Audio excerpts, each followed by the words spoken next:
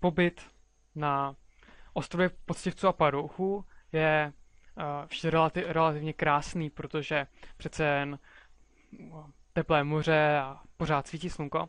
Jenže po dvou týdnech taková drobná nepříjemnost se stane, že už vám nezbydou žádné peníze. No a tak samozřejmě místo toho, abyste si našli pořádnou, abyste si našli nějakou práci, tak prostě napíšete uh, rodičům domů, ať vám pošlou nějaké peníze, jenže to bude nějakou dobu trvat, že? než ten dopis vůbec dojde domů, než oni pak vám pošlou ty peníze, než to dojde, takže si mezi tím nějaký peníze asi počíte. Tak a máte štěstí, protože proti vám zrovna jdou vaši dva kamarádi, Alex, Alex a uh, Alex a uh, Bruno, tuším, Alex a Bruno, myslím, že se jmenovali, když jsme potkali posledně.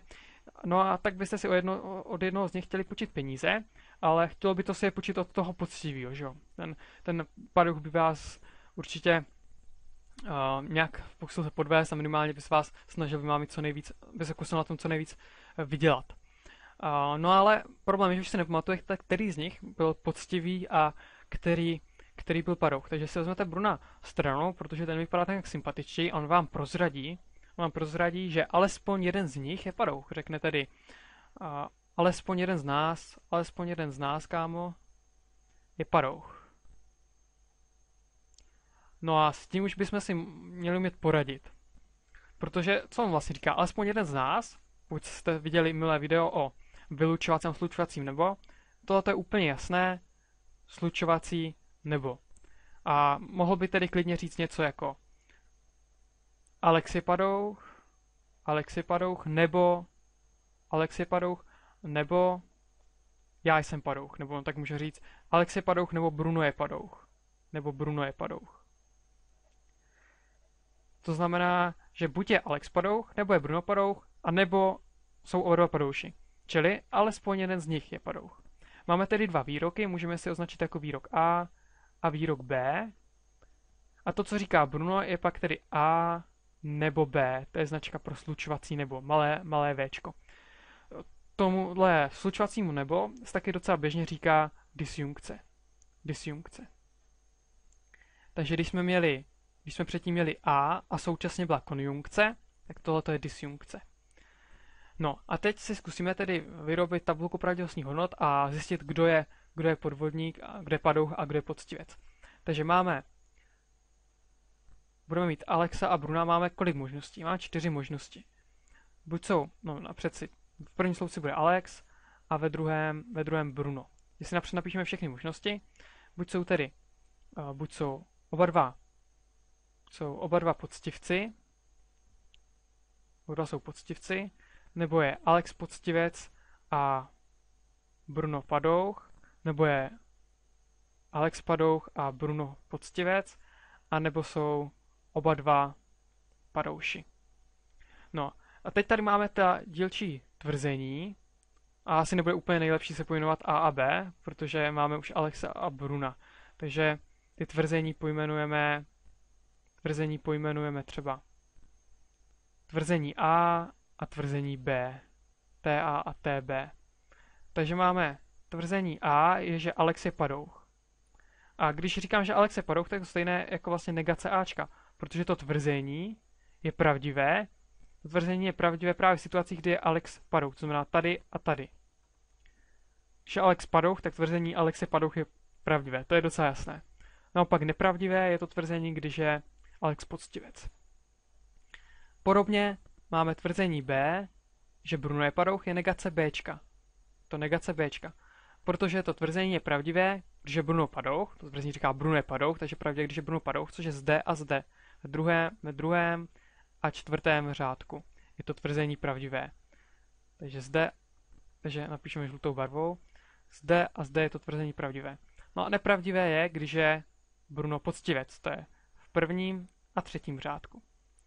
No a teď to, ta naše závěr, ta naše celková disjunkce, čili A nebo B, říká A nebo B, že má, že má platit, abychom byli, abychom se tady, ten výrok, který byl vlastně TA nebo TB, abychom byli přesní. Že máme, takže máme TA, že má platit TA, výrok A, výrok TA nebo výrok TB, to je jako tvrzení A, tvrzení B. Tak. A v minulém videu jsme viděli, že, ten, že pravdivé nebo nebo znamená tedy alespoň, alespoň jeden z těch výroků, což je i to, co vlastně Bruno původně řekl, že alespoň jeden z nich je padouch, čili platí alespoň jedno z těch tvrzení. Třeba ve druhém řádku platí to tvrzení TB, ve třetím řádku platí tvrzení TA, no a v posledním řádku jsou pravdivé, je pravdivé TA i TB. No a nebo je nepravdivé jenom v případě, že neplatí ani jeden z dílčích výrazů.